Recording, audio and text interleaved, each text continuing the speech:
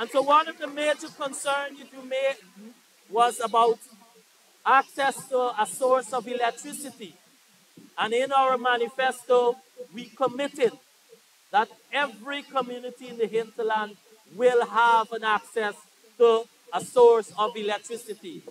That is why we have already distributed here in Region 1 over 8,732 solar panels to every household. Here in Mabaruma, over 2,283 panels. And that is only part of it.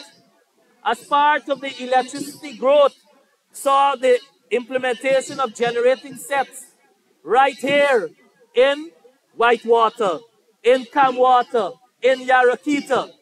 Then we also saw the expense, extension of your electricity network within Wanga, who is now on the central grid of Mabaruma, likewise communities such as Barabina and Kubarimu. So it means that no matter where you reside, it don't matter which river top you on, everyone has access.